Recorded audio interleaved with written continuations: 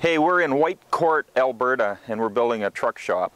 And you can see here there's a footprint. We got all our bundles are spaced out, ready to start. We're just ready to start training. Here we have, um, well, there's probably eight of us here that are going to be working on this thing. And if you come here closer, you'll be able to see what we're doing. I'll get down here to show you. We have footings already in place.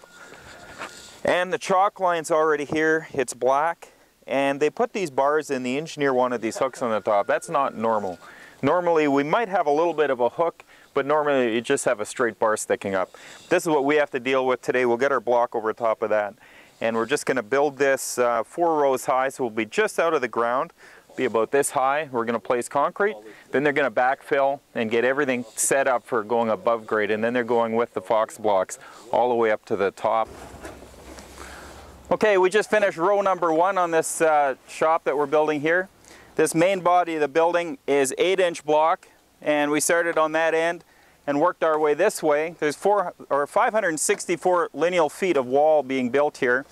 This front section out over here, when you come panning across, that is 6 inch block. The demising wall here is 8 inch and then that area is 6 inch and that's going to be office area. So the first row took us a half hour with 8 guys and now we're waiting for rebar. So we have just finished the second row of block. We, we now only have six men. So for this row we used six men and it took us 45 minutes because we did all of the rebar in the first row and the rebar we're working on in the second row. So 45 minutes for this row, a little bit longer than the first row, but we had to contend with those hooks on top of the uh, footing dowels and that slowed us down a little bit. We're also using the uh, Fox Blocks HV clip on this roll. and this is HV because it works horizontally and vertical, same clip. One box does all. And what we're doing with this, if I climb in the hole here, you'll see if there's a joint line right here, I go on the second tie from the joint line, I reach in there and I clip that on. And then second tie back from it, I clip, reach on and clip that on. If I do that at every joint, the second tie back, each way, that's two foot on center all the way around. So we're doing that on this just to create a beam effect on this. That's going to help straighten everything out. Now if there's any irregularities in the footing, this fixes a lot of that as well. So we're doing that here and then we're going to start on the third row right away. So this row took us 45 minutes with six guys. Okay, we have finished the four rows of block. We didn't put rebar in the top row because we're going to have concrete going halfway up that row so we don't need that rebar in there. So that saved us a bit of time on this one. On the bottom here, after we were finished the four rows, we did this a little bit different. We kicked it on the chalk line. We had a person on the inside and a person on the outside. We kicked it on the chalk line and then we spray foamed it. So now it's going to be held onto the chalk line and won't move on us. So we can place concrete and we know that's going to be good. And then we don't have to come back and rip off any cleats or anything after. These contractors on this site taught us something, how to use tuck tape to protect the top when replacing concrete. And I want to show you how that works. So here I've got a roll of tuck tape which is almost the same width as our product.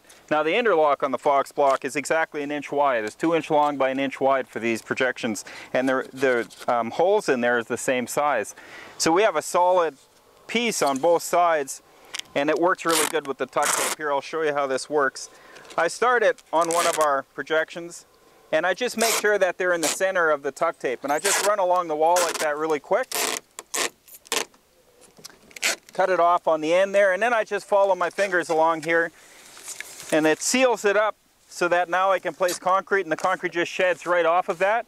If you look down this wall, this wall took me about five minutes to do and I've got both sides done. Now I'm ready to stick my vertical rebar in. I want to show you here, we did four rows here. We only wanted to do three, but they ran into some clay, so they had to dig a little bit deeper. We ended up doing four rows, and it was very simple for us to put these together. We used the Fox Blocks HV clip, which you can just take out and clip back on again, like that, and do them vertical. The same one worked there.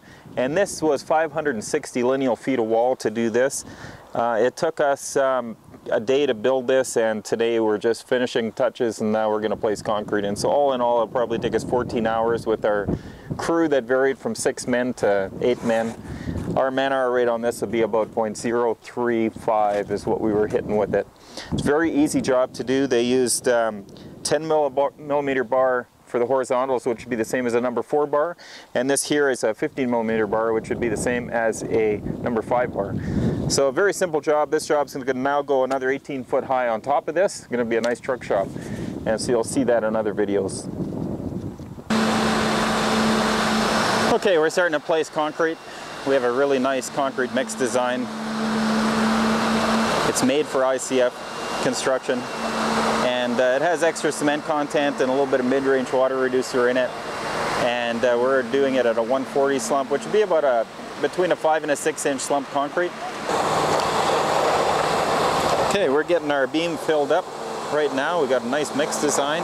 Everything's working good. That center beam is uh, 8 inches down from the top already and all vibrated, consolidated. Okay, if you see he's placing almost a 6 inch slump concrete into this wall.